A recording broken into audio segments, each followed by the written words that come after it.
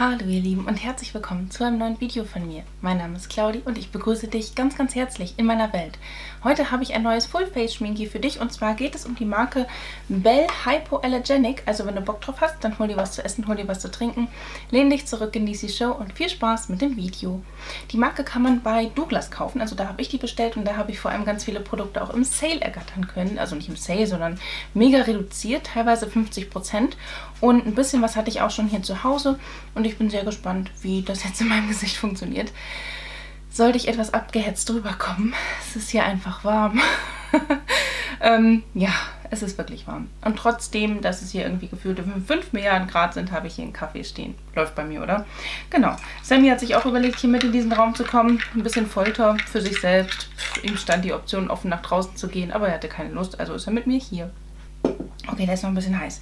Ähm, ja, ich bin sehr gespannt. Es gibt auch eine kleine Verlosung, habe ich jetzt eben schon gesagt, ich weiß nicht. Ähm, ja, alles, was es zu gewinnen gibt und was du dafür tun musst, sage ich gleich im Laufe des Videos. Und ich starte jetzt einfach mal mit dem Primer. Das ist der Anti-Redness Primer. Ich finde, dass man das aktuell einfach auch gut gebrauchen kann. Ich habe natürlich hier ne, hormonell bedingte Pickelchen gehabt oder habe ich hier immer noch teilweise. Ähm, die werden dann hoffentlich so ein bisschen ausgeglichen. Natürlich habe ich auch meine ganz normale äh, Tagespflege unter dieser ganzen Geschichte gleich drunter. Also jetzt quasi auf meinem Gesicht drauf. Und da gebe ich mir jetzt einfach so was auf meinen Finger. Das ist wirklich grün, ne, weil Anti-Redness halt. Und dann verteile ich das ganz entspannt mit meinen Fingern im Gesicht. Ich prime auch immer meinen Hals mit, deswegen gebe ich mir noch einen weiteren Pumpstoß auf meinen Hals und mein Dekolleté.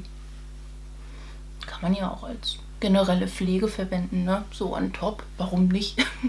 ja, kaschiert das jetzt Rötungen? Ich weiß nicht, ein bisschen, ne? Also ein kleines bisschen ebnet das schon aus. Das ist jetzt nicht irgendwie dieser unfassbare Wow-Effekt, wie ich das zum Beispiel bei dem Catrice Sensational hätte.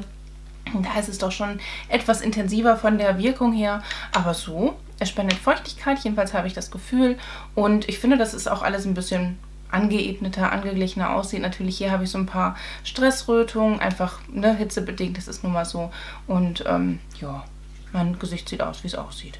Gut, ähm, als nächstes widmen wir uns der Foundation und da habe ich das Aqua Jelly Make-up, habe ich in der Farbe Fair, müsste das sein. Das ist eine Plastikverpackung und die kommt mit einem äh, Pumpspender daher. Ist das fair? Color 01, ja. Ich glaube, Belle Hypoallergenic ist auch irgendwie eine Marke, die aus Polen kommt.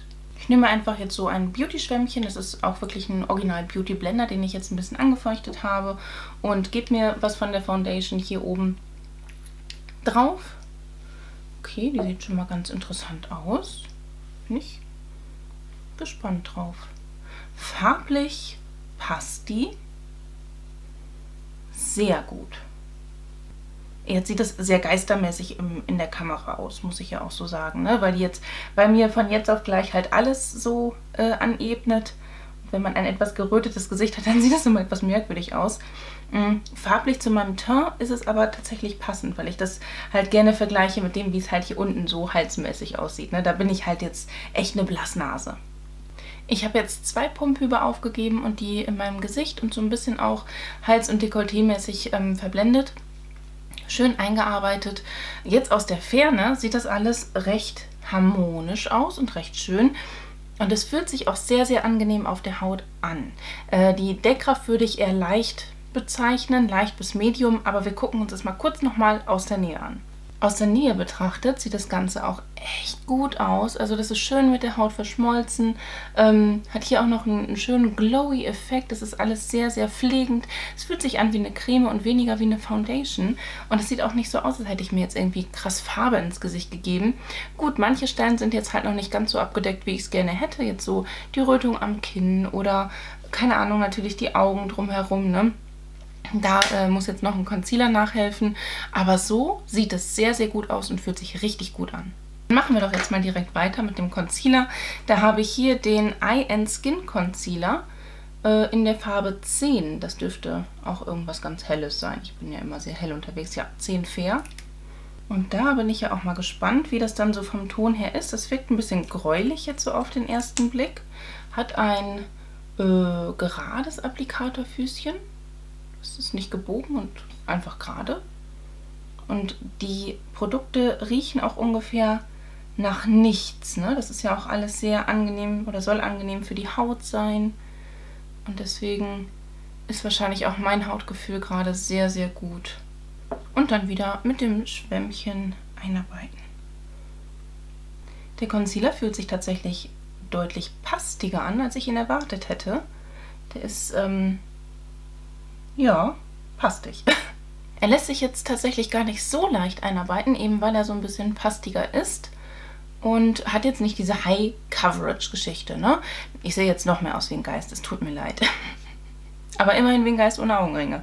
Ähm, genau, also ich müsste theoretisch von der Deckkraft her auch bei den Augen so ein bisschen noch nachlegen. Hier bei meinen Mr. Frezen, die noch ein bisschen intensiver durchscheinen, ebenfalls. Also, ja, hat keine Mega-Coverage, ne?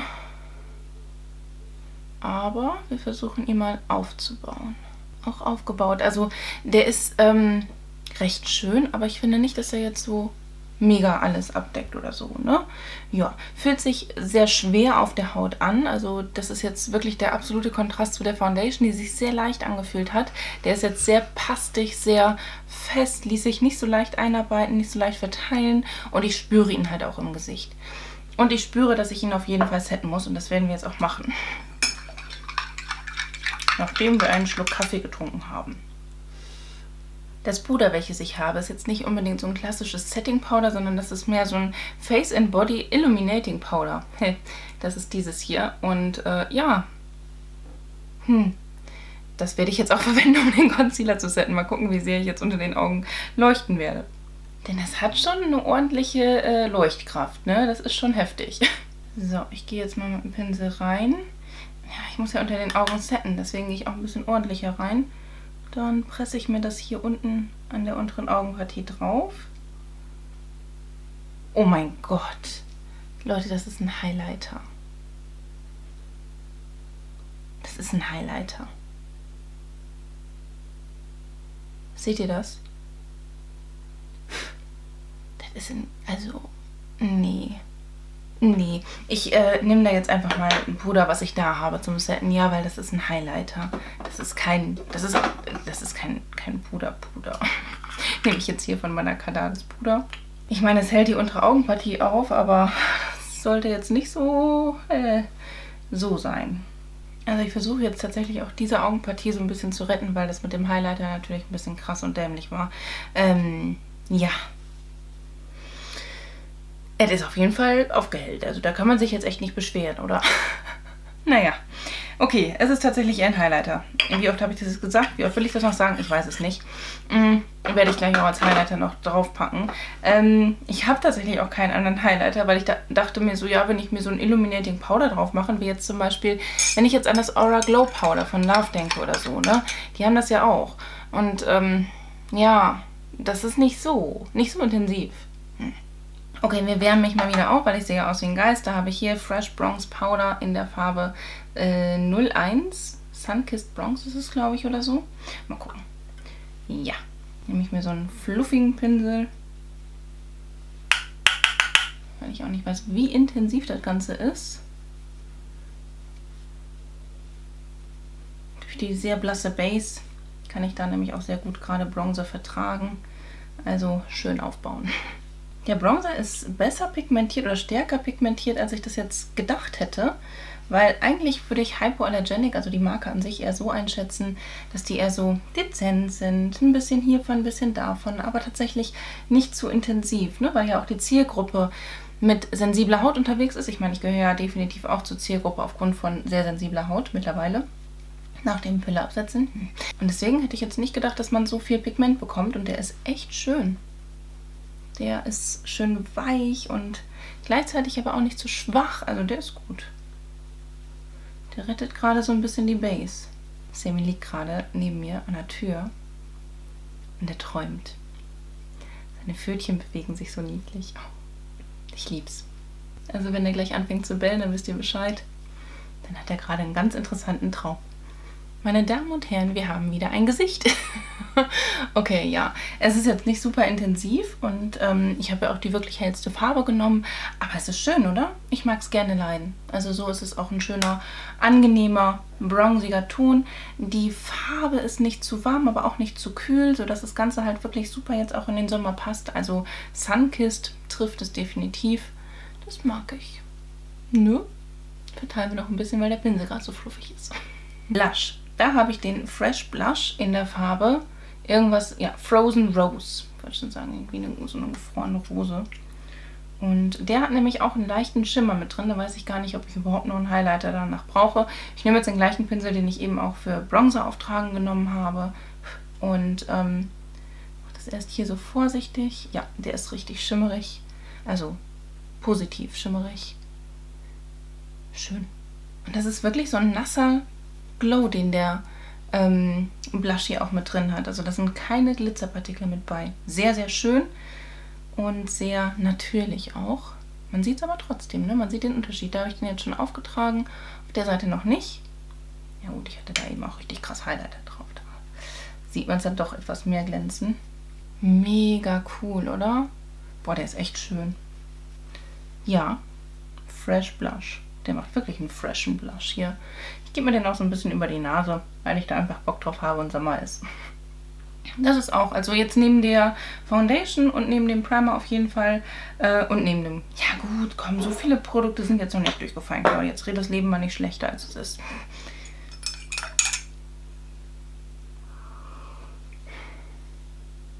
Komm, wir tragen uns jetzt das Illuminating Powder auch mal so ein bisschen als Highlighter auf, weil es ist jetzt ja einfach da.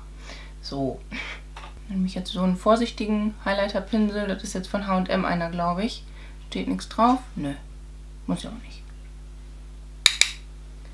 Und den setze ich mir hier einfach so vorsichtig auf die höchsten Punkte. Weil eigentlich ist der Blush ja schon intensiv genug. Das ist jetzt nur zur Unterstützung des Ganzen.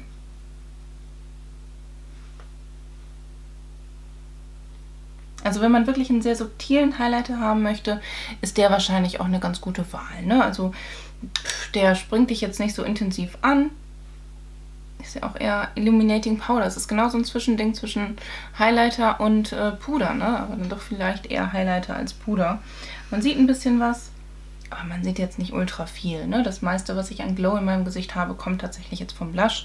Das ist halt ein sehr leichter Alltagshighlighter ohne Glitzer, würde ich jetzt einfach mal so sagen. Ja. Augenbrauen, die möchte ich auch noch machen. Ja, das ergibt Sinn. Da habe ich hier äh, Precise Brow Pencil. Das ist dieses gute Stück hier.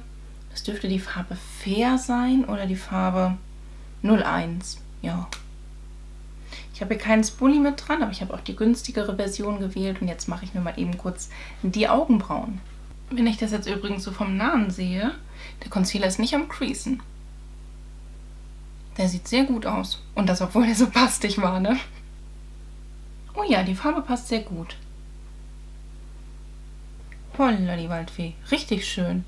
Mag ich gerne leiden. Und das ist noch nicht durchgebürstet. Das müssen wir noch durchbürsten. Dann verblendet sich das nämlich nochmal ein bisschen schöner.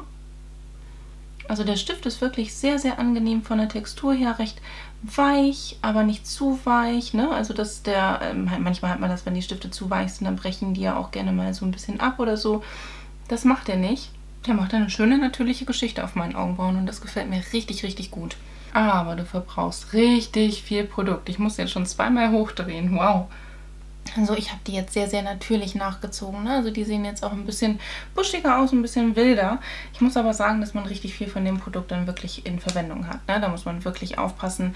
Ist aber ein schöner Augenbrauenstift, der macht richtig Freude. Mm, ist vergleichbar mit dem Precisely My Brow von Benefit tatsächlich. Ähm, aber ich finde, dass man bei dem hier echt mehr Produkt verwendet, weil der weicher ist.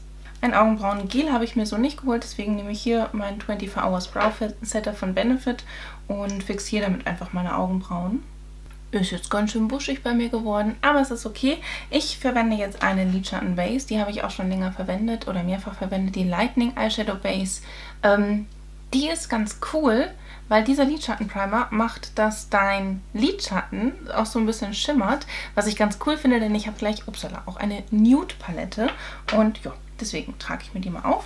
Nehme ich mir immer so einen festgebundenen Pinsel ganz gerne bei diesen Pöttchen Lidschatten-Bases, ne? und äh, gebe das dann einfach auf mein Lid. Also beweglich und auch nach oben auf das unbewegliche Lid. Und weil ich gleich in der Lidschatte keinen Ton zum Setten habe, nehme ich einfach das Puder von eben und sette damit auch direkt die Lidschattenbase. Ich habe mir tatsächlich im Sale äh, gleich drei Lidschattenpaletten ergattern können. Die hier möchte ich gerne gleich mit euch verwenden. Das ist die Nummer 4 und die hat eher so erdige Töne. Die machen wir gleich zusammen. Ähm, und diese beiden, das sind zwei Nude-Paletten. Eine, die etwas wärmer ist und eine, die etwas kühler ist. Die möchte ich beide gerne in diesem Video verlosen. Alles, was du dafür tun musst, ist ganz einfach. Schreib mir unten in die Kommentare einen lieben Kommentar mit dem Hashtag mm, Make-up-Traum. Ist, glaube ich, ganz schön, weil wir machen hier gerade ein Make-up und Monsieur hat hier nebenan gerade scheinbar einen sehr schönen Traum. Genau. Es wird tatsächlich dann zwei Gewinner in diesem Video geben ähm, und du kannst auch gerne reinschreiben, ob du lieber die Warm Tones Palette haben möchtest oder die Cool Tones Palette und äh, ja, ne? Alles weitere dazu steht unten in der Infobox. So, hier haben wir dann die Earth Lidschattenpalette, die ich jetzt auch gerne mit euch verwenden möchte. Aber zuallererst swatchen wir mal die Farben. Oh, die fühlen sich aber schön weich an auf den Fingern. Zarte Pigmentierung, aber das Grün kommt ziemlich gut zur Geltung. Ja, das sind halt wirklich richtig schöne erdige Töne, aber die sehen alle schimmernd aus, oder irre ich mich da? Hm, bis auf den in der Mitte, ne, den dunkelbraunen. Aber ansonsten sieht das alles schimmernd aus. Okay, mal gucken, was wir damit zaubern können.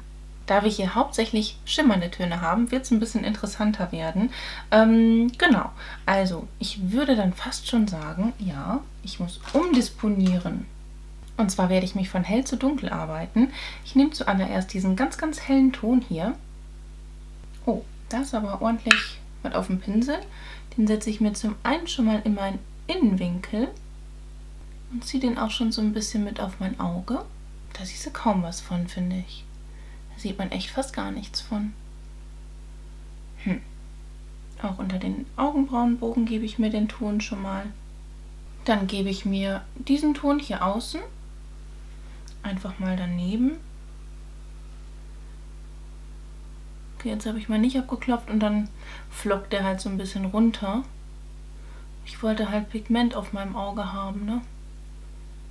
Ich gucke nachher, ob wir die, die, die Töne auch irgendwie angesprüht drauf machen oder mit dem Finger oder so, aber ich wollte es erstmal so versuchen. Dann gebe ich mir diesen grünen Ton, der hier mit dabei ist. Auch wieder mit dem Lidschattenpinsel, da klopfe ich jetzt aber vorsichtig ab, weil dunkler Ton und so hier mal nach außen hin. Verblende ich das hier mal so ein bisschen, ohne Produkt aufzunehmen. Es ist süß, aber es ist wenig. Ich nehme jetzt aus der Mitte diesen ganz, ganz dunklen Ton. Den nehme ich jetzt auch mit dem Blendepinsel mal vorsichtig auf. Klopfe aber vorher erst ab, weil ich möchte mir den hier auch vorsichtig mal in die Lidfalte blenden. Gut, da ist es jetzt halt für mich positiv, dass der nicht so stark pigmentiert ist, weil dadurch kann ich dann auch so arbeiten, wie ich arbeiten möchte. Weil mir eigentlich so ein heller Verblendeton gefehlt hat, aber da der halt softer ist, geht es klar. Also positiv lässt sich ebenfalls zu dem Ton anmerken, dass er sich schön verblenden lässt. Das ist eine ganz angenehme Kiste. Ne? Ich fühle mich jetzt nicht irgendwie so, als würde ich mir einen fleckigen Look damit aufs Auge bringen. Das auf gar keinen Fall. Ich muss auch sagen, dass wenn ich zum Beispiel mal wieder so Probleme mit meiner Haut habe, ne, dass ich, keine Ahnung, wieder Schübe von meiner Sonnenallergie habe oder so, dann will ich mir auch gar nicht so einen ultra-intensiven Augenlook schminken. Deswegen kann ich mir vorstellen, dass genau für solche Momente eben auch diese Lidschatten gemacht sind, weil du gar nicht Bock drauf hast, dir da irgendwie einen Papagei aufs Auge zu packen, sondern einfach nur ein bisschen leicht Farbe drauf, damit das Ganze halt einfach irgendwie schöner aussieht, als es halt vorher aussah. Ich glaube, genau dafür kann man das dann auch sehr, sehr gut nehmen. Das ist sehr zart, sehr sanft und das finde ich dann aber für den Moment auch passend. Jetzt möchte ich natürlich versuchen, das Ganze zu intensivieren. Das heißt, ich gehe jetzt einmal in dieses ähm, Roségold rein, was ich halt auch auf der Mitte habe und gebe das mit dem Finger auf. Und das funktioniert dann schon wieder so schön. Das ist halt sanft von der Farbabgabe her aber dementsprechend ist es dann natürlich auch sanfter zum Auge, also das ist schon okay. Ja, ich finde, man sollte dann vielleicht doch mal überlegen, das, ich sage das im Prinzip jetzt gerade zu mir selber, ne, was die Marken überhaupt mit dem zum Ausdruck bringen wollen. und warum die halt ihre Produkte so entwickelt haben. Und deswegen glaube ich, dass das alles vollkommen mit Absicht ist, dass du hier halt nicht so eine Kabam-Geschichte hast. Ich nehme jetzt auch das Grün mit dem Finger auf, sondern einfach so ein bisschen was Natürliches aufs Auge bringen. Guck mal, mit dem Finger geht das aber auch richtig krass ab hier. Muss ich ja echt aufpassen. Ich merke gerade, dass man diesen grünen Schimmerton auch sehr, sehr schön hier mit dem Blendepinsel aufs Auge bringen kann. Natürlich riskiert man damit Fallout, aber wenn man den so drauf tupft mit dem Pinsel, geht das sehr, sehr gut. So, jetzt auch nochmal die ganz helle Farbe. Wird ein bisschen intensiviert, aber es macht das Ganze auch schon wieder ein bisschen aufgehellt. Aua, im Innenwinkel. Doch, ich habe den Sinn dahinter verstanden und ich finde auch, dass der Look damit schön geworden ist. Ne?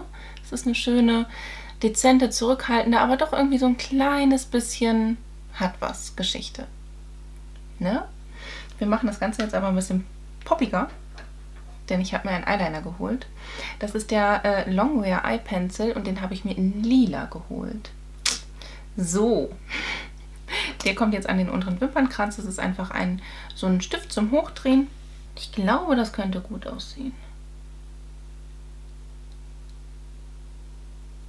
Kommt das nämlich hier einfach an den unteren Wimpernkranz, weil das schon sehr hart aussieht. Aber wir smatschen das gleich nochmal ein bisschen aus. Ich versuche auch so nah wie es nur geht an den Wimpernkranz ranzukommen. Mache ich jetzt mal auf beiden Augen oder vielmehr unter beiden Augen. Ich habe das jetzt sehr grob gemacht, ne? Weil das wird jetzt ja auch noch gesmatscht. Nehme ich mir einfach, oder gepointet? Gesmatscht oder gepointet? Was habe ich denn jetzt vor hier? Ich nehme jetzt so einen, so einen, das ist eigentlich ein Lippenpinsel. Den nehme ich mir jetzt mal. Damit verblende ich das so ein bisschen. Zum einen, damit die Farbabgabe am unteren Wimpernkranz einheitlicher ist. Und zum anderen, dass die Seiten, also die äh, nach außen hin, ne, dass es so ein bisschen softer wird. Durch diese Art, wie ich jetzt diesen Augenlook gemacht habe, habe ich natürlich keine Winged Eyeliner. Ich habe meinen oberen Wimpernkranz jetzt nicht verdichtet oder so. Aber ich finde schon, dass ich mir damit einen gewissen Ausdruck auch ins Auge gegeben habe. Und deswegen gefällt mir das schon. Man muss halt schon aufpassen an dem unteren Wimpernkranz, ne? wenn man sich so einen lila Ton da aufgibt, dass es nicht krank aussieht. Aber ich finde, so wie es jetzt aussieht, passt es auf jeden Fall zum Look. Ich biege mir jetzt noch ein bisschen meine Wimpern, weil ich mir gleich natürlich noch ein bisschen Mascara drauf geben werde in gewohnter Art und Weise. Dafür werde ich verwenden die Long Wear Mascara. Das ist diese hier. Und die ist mh, mm, unspektakulär von der Verpackung her. Weil so ein Grau, ne? Macht nicht so viel her. Und hat so ein ja, Gummibürstchen, was so ellipsenförmig ist. Riecht nach nichts ohne Mascara. Erste Schicht. Zweite Schicht. Dritte Schicht. Also die Mascara finde ich echt gut. Boah, stell dir die mal vor, auch mit Eyeliner und mit einem richtig krassen Augenlook. Wobei die so natürlich auch richtig was hermacht. Ähm, ich finde die wirklich toll. Die trennt die Wimpern schön, die verlängert die Wimpern schön. Und das ist ja auch das, was sie versprochen hat. Also die macht, guck dir das mal an, jetzt in dem weißen Hintergrund da hinten, ne? Wow. also das sind äh, wirklich mal verlängerte Wimpern und ähm, Womlash ist tatsächlich ich mag das gerne leiden. Und jetzt mal ohne Witz, dafür, dass es halt eine Marke ist, die eigentlich eher so sagt, nee, hm, wir gucken eher, dass es hautverträglich ist, finde ich, dass die richtig gut ist. Ich weiß nicht, wie die jetzt abstempelt oder so, ne? Wie die Haltbarkeit ist, das muss ich mal gucken. Aber ähm, ich hätte das Ergebnis so nicht erwartet tatsächlich. Da bin ich wirklich beeindruckt von. Wie immer im letzten Schritt widmen wir uns jetzt den Lippen. Da habe ich zuallererst hier einen Lip Liner oder ein Longwear Lip Pencil. Das ist dieser hier.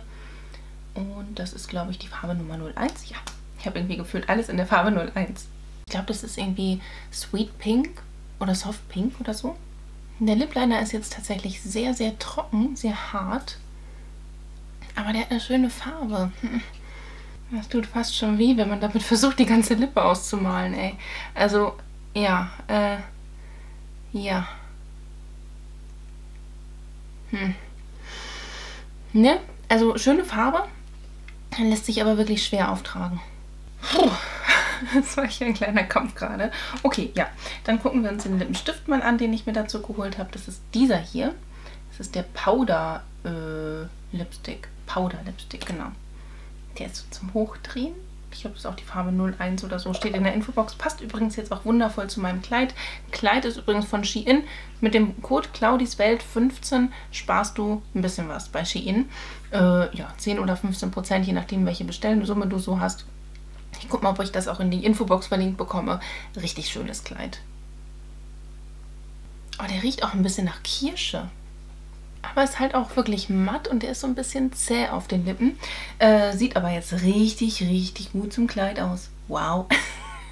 Das Kleid hatte ich heute schon den ganzen Tag an. Das war jetzt so nicht geplant. Also das Video zu drehen war geplant, aber dass, ich, dass das alles so passt, war nicht geplant. Das ist meistens ungeplant bei mir und dann passt es irgendwie am Ende doch. Also ich finde, den Lippenstift. Dafür, dass es ein matter ist, ist er gut. Ich mag nicht so gerne matte Lippenstifte. Aber gut, ja, du, das ist einer zum Raufdrehen. Achso, Color 02 ist übrigens die Farbe. Mhm. Okay, ja. Mmh, schick, definitiv.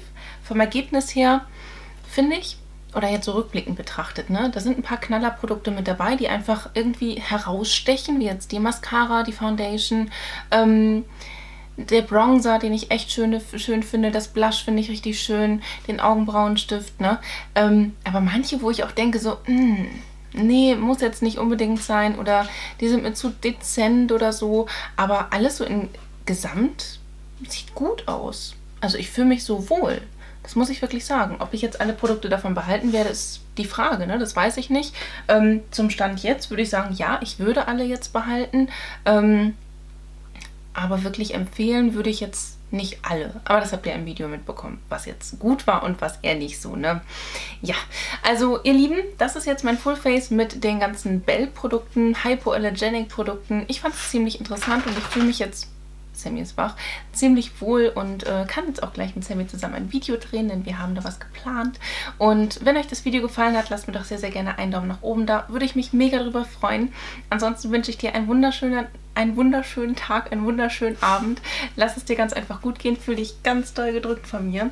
Ich verlinke dir mal hier oben meine Playlist mit den ganzen Style Talk Videos. Hier unten meinen neuesten Upload. Auf dieser Seite noch ein Video von mir. Und hier oben kannst du, wenn du möchtest und es vielleicht noch nicht getan hast, mich sehr, sehr gerne einmal kostenlos abonnieren. Ich würde mich echt von Herzen drüber freuen. Lass es dir gut gehen und hoffentlich bis zum nächsten Mal. Ciao!